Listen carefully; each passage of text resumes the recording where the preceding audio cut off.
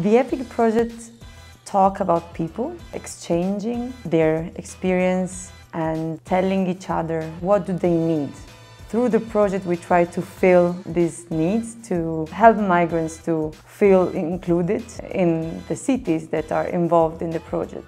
We started by a research that helped us to understand what the eight cities involved in the project needs. If we understood that one city had uh, best practices and another city had problems in uh, providing the mm, service in the, in the same practice, we match them in order to fulfill their needs. All the partners of the project are now implementing a pilot project, so they are providing a service for their own community.